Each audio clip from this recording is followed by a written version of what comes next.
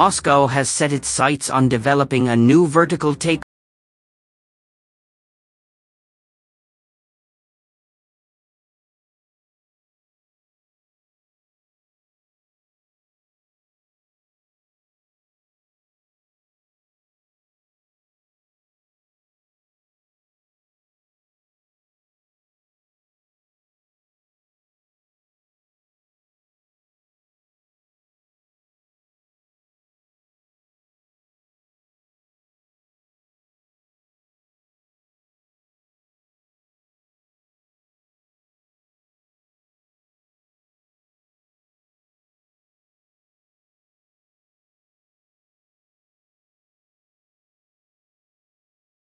by the Yakovlev Design Bureau, the Yak 141 was the world's first supersonic VTOL aircraft.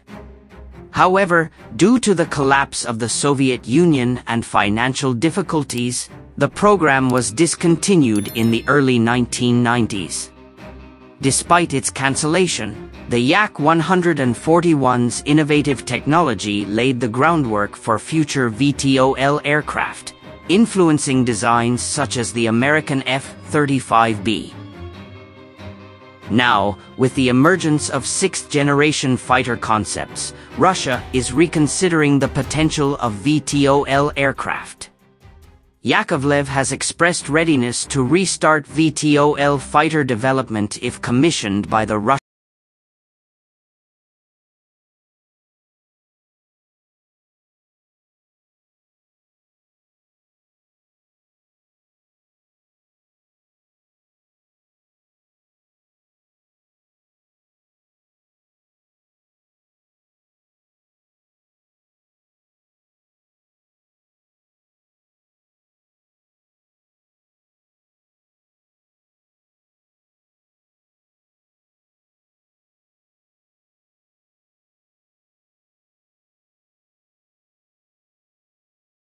Driving the Yak 141. Russia is actively working on developing a sixth-generation fighter under the PAK-DP and PAK-VTA programs.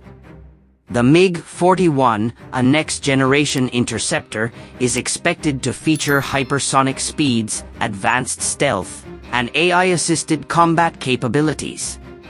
Additionally, Sukhoi is reportedly working on a separate sixth-generation fighter that will include drone integration, laser weaponry, and electronic warfare capabilities. The integration of a VTOL version into this development would provide Russia with a highly versatile combat platform, capable of operating from a variety of locations, including naval carriers, remote airstrips, and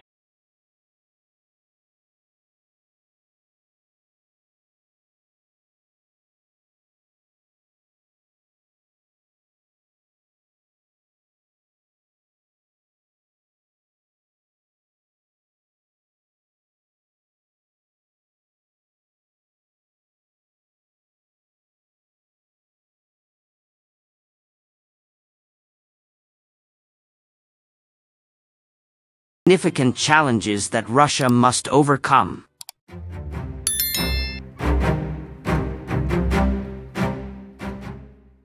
The first challenge is engine development.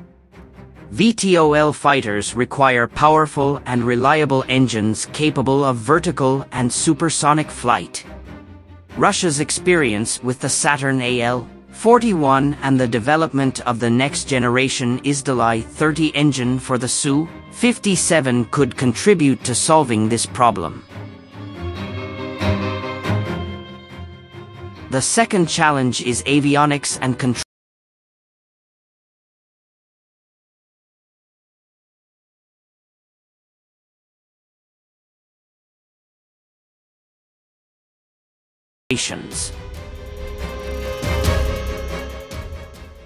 And the third challenge is structural design.